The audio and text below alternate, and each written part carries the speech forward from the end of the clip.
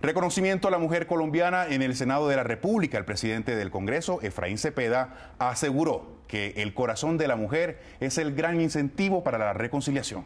Pues con esta nota los invitamos a seguir nuestra emisión de la próxima semana. Nos vemos. Nos vemos.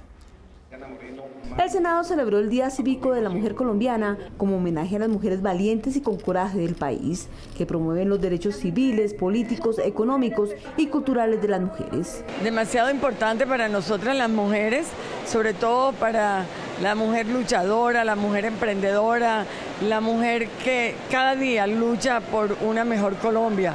Durante el evento realizado en el pasillo principal del edificio nuevo del Congreso, fue conferida la orden La Mujer y la Democracia, Policarpa Salabarrieta, a la alcaldesa Claudia Inés Cabrera, por sus aportes a la paz y en especial al trabajo realizado por las mujeres campesinas de su municipio, Policarpa Nariño. Recibir este reconocimiento en nombre de las miles y miles de mujeres que trabajamos en Colombia en pro de la paz, en beneficio de nuestras comunidades, pensando siempre en el bien, en bien general. El presidente del Senado, Efraín Cepeda, resaltó el liderazgo de la mujer colombiana y aseguró que es la hora de la reconciliación y la paz con las mujeres. Ustedes, queridas mujeres, tienen una gran ventaja sobre los hombres.